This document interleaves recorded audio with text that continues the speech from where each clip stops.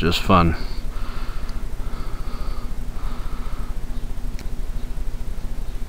Then you have to wash where you push, knock things out of whack.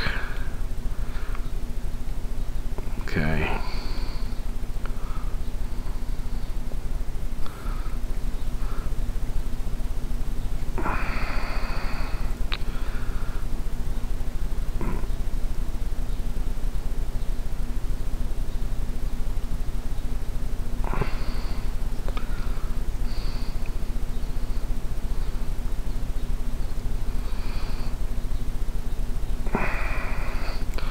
The whole thing is to get them into the pins and line up this little hole. There's a little hole there for the screw.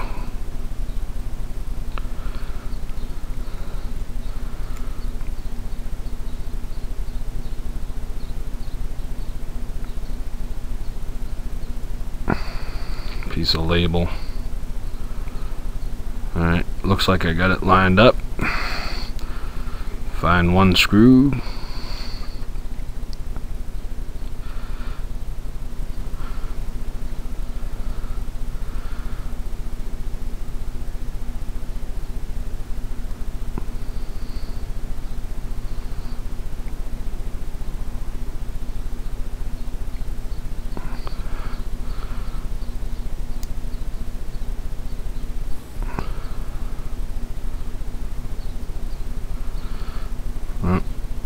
I didn't get it in the right hole, folks.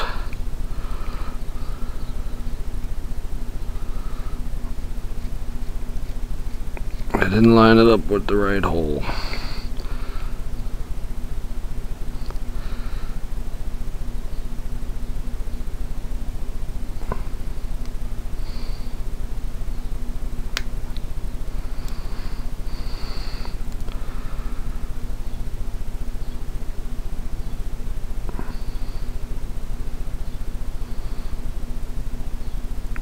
Hoping that's it.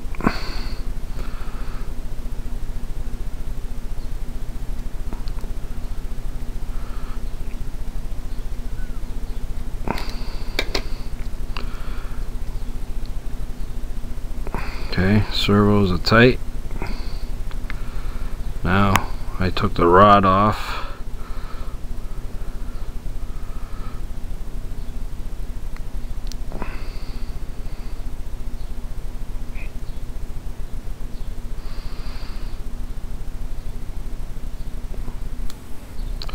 Click. You hear a click it's on. Make sure your wires are safely out of the way for servo movement. Okay we have a tail tail motor. Let's get some blades on this. And like I was saying earlier these are curved. I don't know if they're supposed to be straight. I don't know if you could bend them don't know. But maybe I'll try it after I do the blades. Um, I bought these extreme, supposed to be one degree curved blades, so I was going to try them out.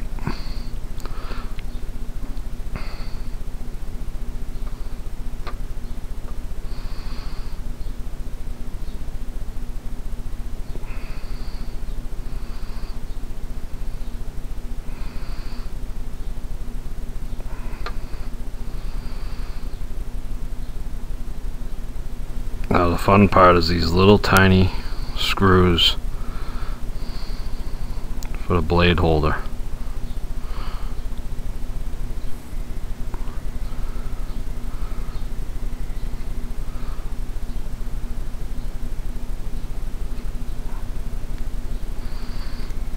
And they are tiny. There's one.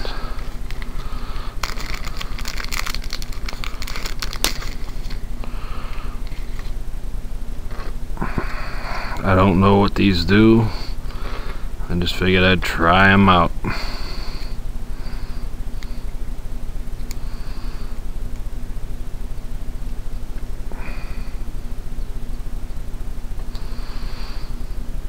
Okay, second little tiny screw.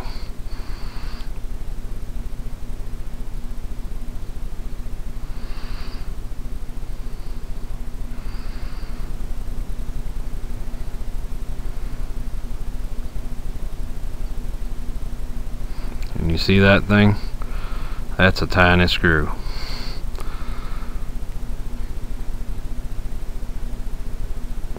Oops.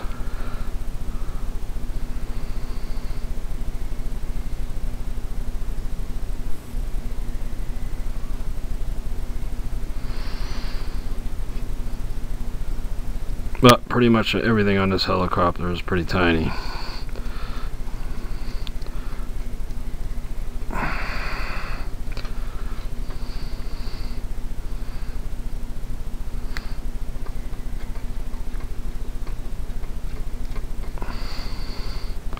But I would have to say that the blade holder screws are the tiniest on here.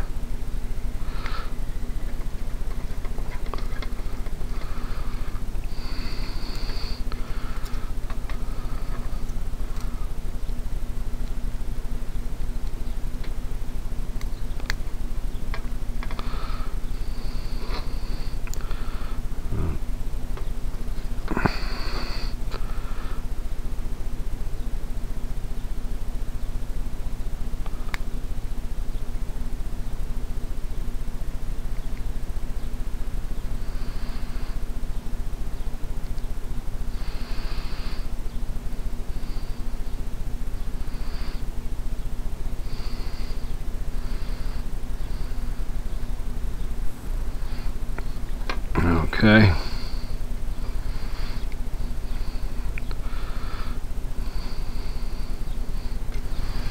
Alrighty. I put the canopy rod back in.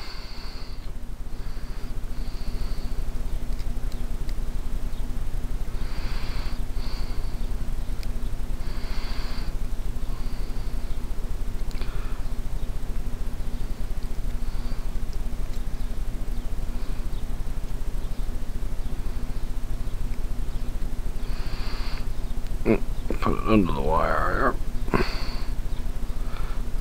Alrighty.